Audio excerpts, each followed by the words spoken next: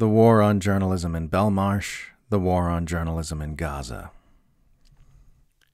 I haven't written much about Julian Assange lately because I've been so fixated on what's been happening in Gaza.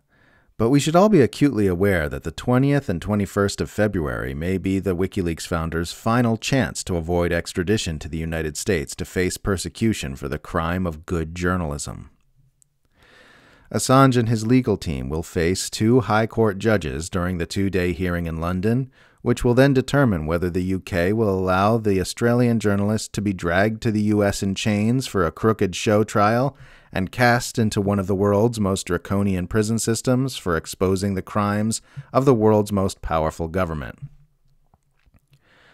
Some U.S. lawmakers are attempting to block the extradition from the other side with House Resolution 934, which asserts that regular journalistic activities are protected under the First Amendment and that the United States ought to drop all charges against and attempts to extradite Julian Assange.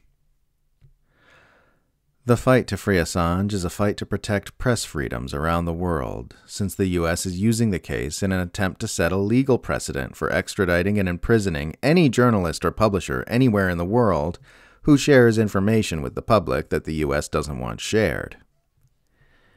And it's worth mentioning that this fight is not actually separate from the fight against Israel's efforts to keep journalism out of Gaza by assassinating reporters and blocking the press from entering the enclave. It's also not separate from humanity's overall struggle to build a truth based civilization, nor ultimately from our greater struggle to become a conscious species.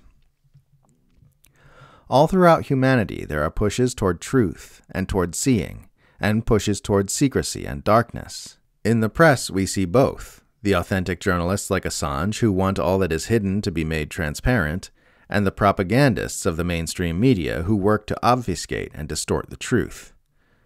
Those who seek the emergence of a harmonious and truth based society want as much visibility into what's really happening as possible, while tyrannical power structures like the US empire and Israel are constantly working to dim the lights.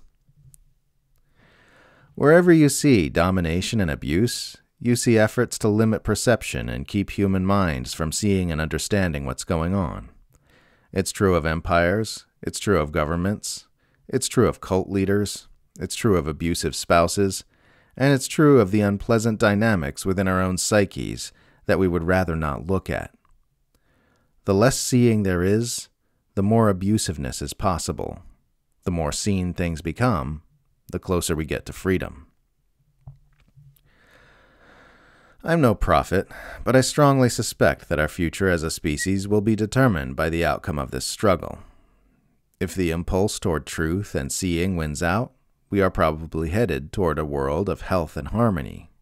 If the impulse to keep everything confused and hidden and unconscious wins, we are probably headed for dystopia and extinction. In any case, all we can do is fight to make things more visible so that health and harmony become possible. Fight to make things conscious within ourselves. Fight to keep journalism legal in the shadow of the empire. Fight to spotlight Israel's atrocities in Gaza. Fight to make the unseen seen. Fight to bring humanity into the light of consciousness.